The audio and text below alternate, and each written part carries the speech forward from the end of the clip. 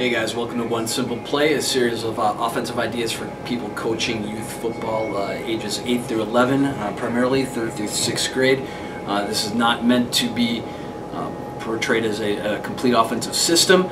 Uh, these plays aren't necessarily complicated or sophisticated, but there's some ideas of some concepts that I've had work for kids of this age, given their size, strength, mental ability, arm strength, and the amount of practice time you have because we all know that it's, it's limited. So a quick tip of the hat to Coach Mac, Thomas McPherson, for the idea to stand in front of a whiteboard and do a real no-frills, bare-bones video. Uh, hopefully uh, you can take a little bit of uh, knowledge away from what you see here. I know that uh, I've gotten a ton from him. if you haven't subscribed to his YouTube channel yet, you should do so. Coach Thomas McPherson.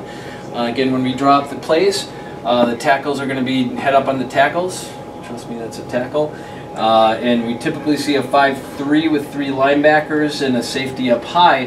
Uh, but the play that I'm going to show you today, uh, it's the first time we've really done something a little bit unbalanced. All right, so the, the play that we're going to show today is just a simple bubble screen.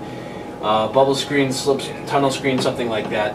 Uh, we've, we've called it bubble in the past. And in this, uh, the quarterback's going to be by himself back here. So it's an empty backfield. And we're going to take our fullback and put him in the slot to the right and the halfback on the line uh, to the outside here. And at the at the snap, we're just going to throw him a real simple, quick, quick, quick pass like this. Okay, now. Uh, what happens from there uh, depends on how the, the defense defends us. If the, if the end uh, bumps out here, um, the Y will come in and, and, block this person and he'll cut it up in here as the H blocks the cornerback. Okay, If they bring an outside linebacker out here, uh, same thing, all right. But it all depends on who, how the defense responds to that. Um, it's a pretty simple way to get the ball in space uh, to a, one of your hands kids. Uh, let's just take a look at a video of a bubble screen.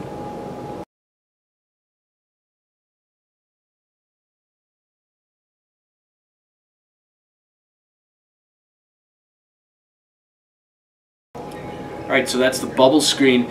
Um, it's a play that we've gone away from a little bit in the last couple years, but still an idea of, of, a concept that you see used at all levels that you can pretty easily uh, throw into your uh, youth football team. Uh, it also sets up nicely the bubble and go, which I'll show you next. Uh, if you've got any comments on this, uh, please leave them below or send me an email at scott underscore tappa at hotmail.com and feel free to subscribe to my YouTube channel, uh, with, which has a lot of youth football practice and coaching ideas game film, clinic presentations from uh, coaches around the state of Wisconsin. Great stuff. So uh, please subscribe to that if you have not already. Thanks for watching.